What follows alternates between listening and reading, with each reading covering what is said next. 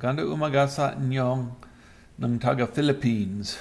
Greetings from the Philippines. Welcome everybody. It's a beautiful morning. Well, it's sort of pushing on to uh, noontime here, but I got the light behind me. That's how I can tell. So in this video, I want to talk a little bit about the uh, structure in the GUI used in Proxmox as its interface. Hope everybody is doing well and has survived the Chinese New Year, the Lunar New Year. Uh, I should say welcome to the Year of the Dragon, everyone, also. Last week, my relatives and I visited a live recording of a show here in the Philippines, a TV show called Eat Bulaga. I thought it was Eat Blind, but apparently Bulaga also means surprise, so it's Eat Surprise. It shows at noon. It's been around since 1979, so we got the chance to go on stage and be part of the audience. You can see a shot uh, there. It is right there, okay?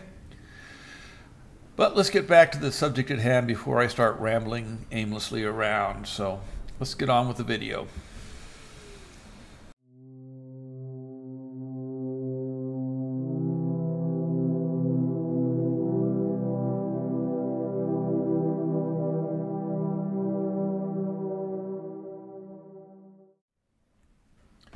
So today we're going to talk about or take a look at Proxmox GUI and discuss the structure and usage. I don't want to get too deep into any one aspect as I'll be covering those in future videos around specific topics, but I want to give us all a general overview before before jumping into a GUI discussion though, we need to take a look at the levels present in Proxmox and how they relate to each other and how they end up relating to the GUI. And if you're wondering what I mean by levels, uh, just hang on, we'll I'll explain it to you, uh, but basically there's a couple of different levels. You've got the Proxmox data center cluster level, whatever you want to call it. Then you've got the level that your actual computer sits at that you're using. And then you've got the level below that where your virtual machines sit at. So I just want to say this is something I totally missed when I first go around with Proxmox and probably explain some of the troubles and issues I encountered. Not saying that Proxmox does not have its share of flaws, issues, and problems. It does. I'm just saying that some of my issues were self-induced by not really understanding the Proxmox layout or how the whole system worked. For this video, I'm going to be focusing on the Proxmox structure and what major elements of the GUI are. Going to try to avoid prolonged explanations into functionality, various options and choices that will be available depending on what you select, as I want to focus more on talking about the overall functionality of the Proxmox interface. So let's get going with the presentation, okay? I want to apologize for the darkness. I got a lot of light behind me, but I've got a good opportunity right now to do some recording, so I'm taking it. But on to the subject at hand. So there are basically three levels of control in Proxmox, or just three levels in Proxmox, however you want to call it. First level, or the highest level, is the data center. Uh, the data center provides cluster-wide management, and a cluster is multiple computers hooked up as Proxmox nodes. A node is your actual computer where you store your virtual machines, and you can have multiple computers, which is called a Proxmox cluster, and it's in the data center, and that's it's the system level. So when you're looking at anything where the data center is selected, you got to think cluster-wide management or system-wide management. You need to think globally about these are what the options here are going to do. They're going to be global. Next level down is what's called the node. This is your actual computer that you're running the Proxmox server on. So any actions at this level affect individual computers only, but they affect the whole computer since it's the whole computer that's at this level. Things like hardware and storage and stuff are, well, you can look at the category titles and you can sort of figure out what they do based on the level. And like I say, the node level is strictly for computers. It's not data center wide, it's just on that computer.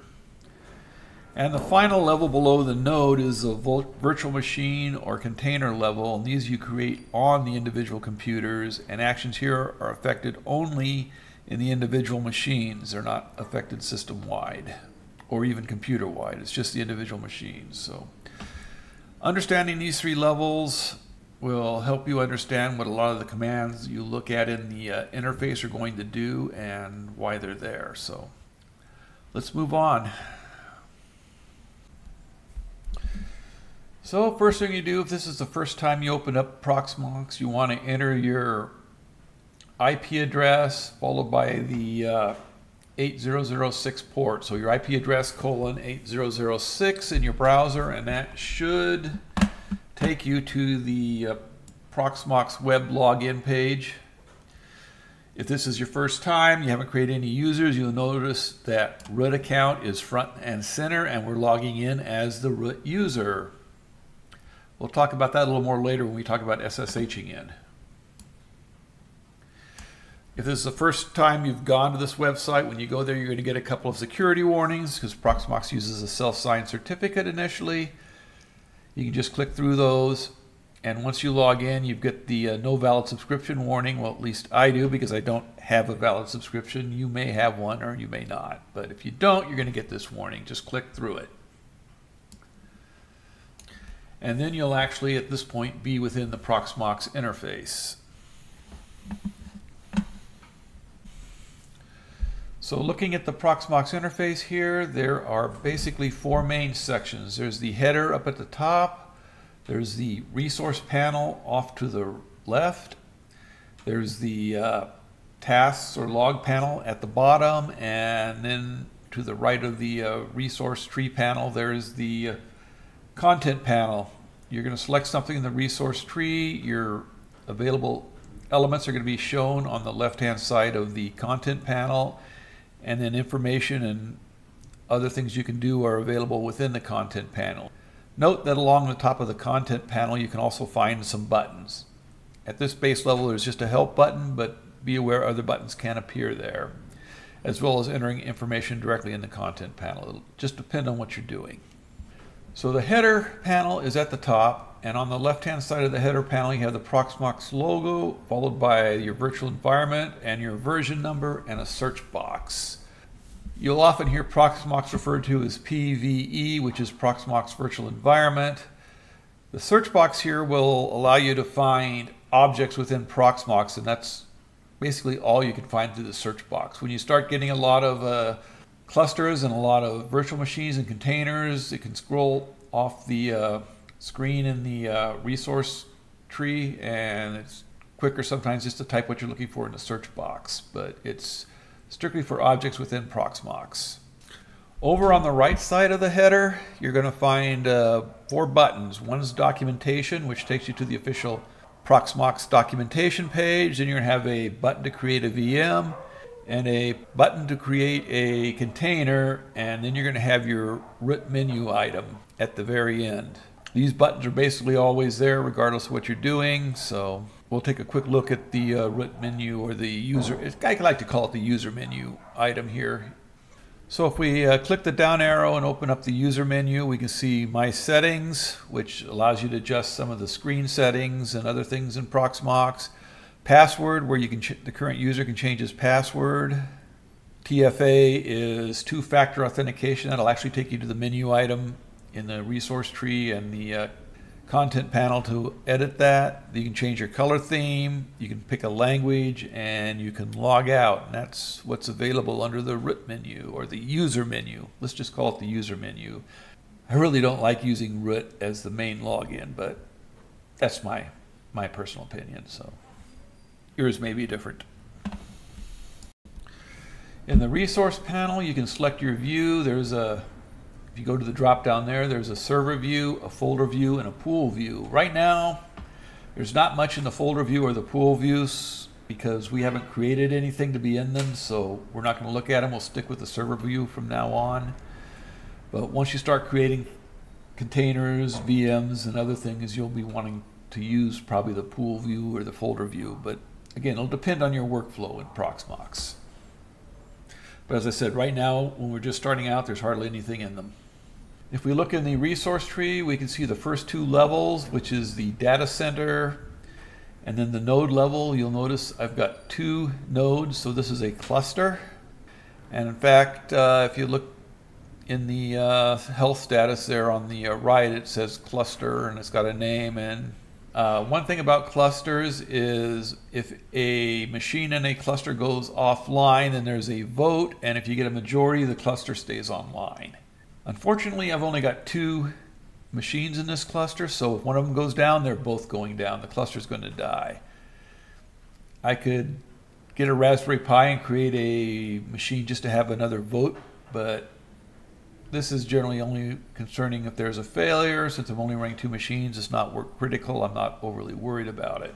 You can expand the nodes down below the data center and there's not much there right now. There's a network for that computer and then this how the storage is laid out for that computer.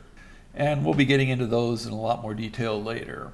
But that would be the third level under the node where your virtual machines and your containers would sit along with other items like I say like the network and the storage. And this is the content window and the menu list or tree that's displayed on the left will depend on what you have clicked over in the uh, right in the uh, resource tree. It will change. There's a lot of uh, items in this menu. Uh, most of them, well, some of them are self-explanatory, some of them need a little more explanation. Uh, I don't want to get too deep into it, but I think I'm going to have to discuss a few of the ones that require additional explanation real quickly before moving on. Okay, some of the acronyms. So CEPH, I think that's CEF, is a uh, distributed storage system. Uh, HA is high availability, it's another subsystem. SDN is software defined network. And a ACME or ACME is deals with certificates. Most of the rest of the stuff in the menu should be self-explanatory, but those acronyms need a little explanation. At the bottom of the screen is the the log panel. Uh, as your tasks or cluster log. These things are only displayed temporarily in this particular area. They will scroll off the bottom eventually. You can go to the actual logs and the stuff will be there, but it'll scroll off this particular visual interface fairly quickly as you start doing lots of things and it starts filling up. And I think that's about the totality of the interface. So out of the box, Proxmox comes with a SSH server set up. So enter your IP address and port 22 and you're going to have to accept the uh, certificate. I'm using PuTTY here. And that's awful small lettering. Let me jump back and fix that. So let's go ahead and re-enter our port number.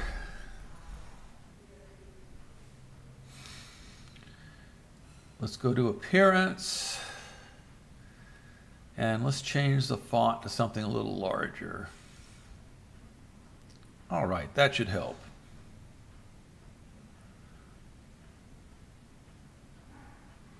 Yes, definitely better. Okay, we accept our certificate. You only have to do this once. And then we get to log in. And this is SSH server, but we're still logging in as root. Again, this is an issue I have with Proxmox is you should not be logging in via SSH as root. But like I say, my opinion, neither here nor there. So make of it what you will. Okay, at this point in time, we should now have a good idea what the major areas of the Proxmox interface are, are and what they're used for and where we can look for various commands.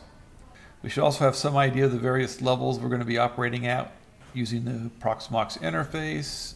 Like I say, you do something at the data center level, it affects everything. At the node level, it affects just the computer. At the virtual machine or container level, it affects just that container or virtual machine. I was planning on doing a next video on users and permissions where we get to use some of those menu items and explain what they are, but I think I'm going to put that off a little bit. What I want to do is a video on, let me call it why Proxmox, but you could might as well call it why Webmin, why cockpit, why a GUI. And the reason I say that is I can do a lot of things, well, I can do pretty much everything in the GUI I can do through SSH and a terminal. I can achieve the same objectives from the command line, and I generally have a lot more control doing it through the command line than I have through a GUI. So I ask again, why use Proxmox or any other GUI front end? But I predict as I look into this, it'll come down to ease of use for some things. Not everything, because there are things I can do easily, much more easily through the command line than I can do through the GUI, but yeah, I think it's probably going to come down to familiarity or ease of use, but I really want to look into it and think about it. And I'll do a short video between this and the one on users and permissions, which will be coming. So we'll see you next time, okay?